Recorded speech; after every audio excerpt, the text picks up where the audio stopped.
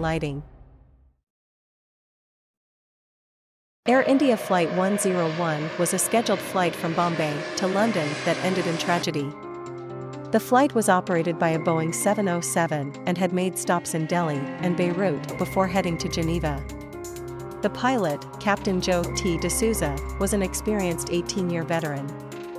However, while en route to Geneva, the aircraft flew into the Mont Blanc Massif in France, resulting in the death of all 106 passengers and 11 crew members.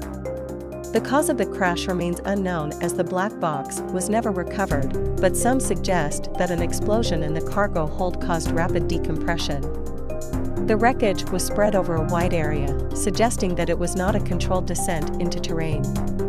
Dr. Homi Jehangir Bhabha, the founder and chairman of the Atomic Energy Commission of India, was among the victims of the tragic Air India Flight 101.